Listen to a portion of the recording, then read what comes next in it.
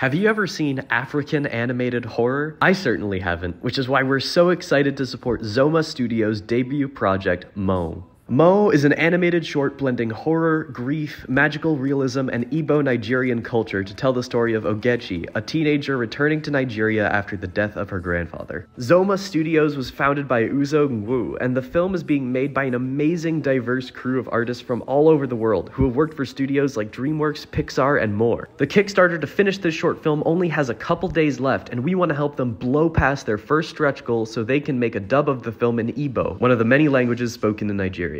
We've pledged $25, but if you can't support with money, support with spreading the word about this awesome project. If you're interested in African culture, horror, magical realism, or just want to see something new, head over to their Kickstarter and watch the trailer. It's been playing in my head for weeks. You won't regret it. Do you, do you know